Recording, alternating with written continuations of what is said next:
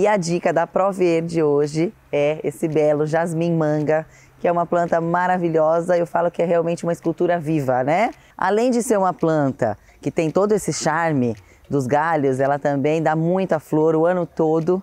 E quando não tem, que chega uma época do ano, né, que elas caem todas as folhas, ela permanece ainda assim maravilhosa. Vocês podem notar que ela aqui no caso tá uma planta já de grande porte, né?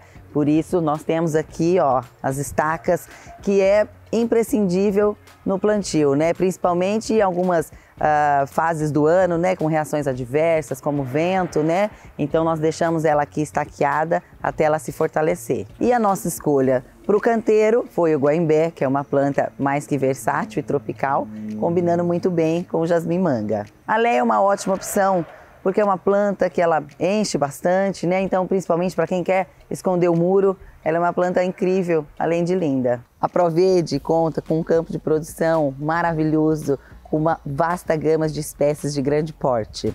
Nós trabalhamos desde o projeto até a execução e manutenção. Tudo o que você sonha para o seu jardim, a Provede realiza.